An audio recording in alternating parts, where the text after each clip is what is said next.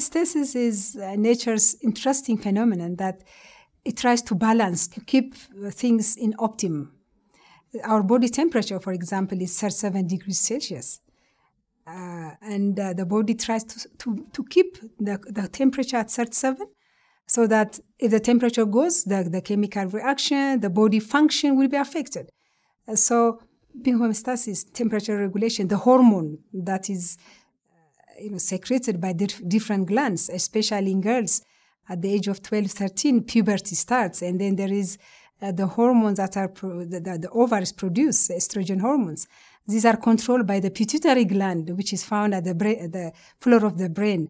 And this is a chain control chain system, a chain, a chain of control. And that uh, level, uh, concentration that circulates in the blood should be maintained in normal optimum range.